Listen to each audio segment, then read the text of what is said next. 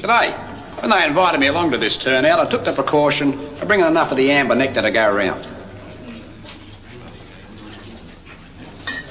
Looks like I did the right thing too, because that stuff looks to be about as popular as a rattlesnake and a lucky dip.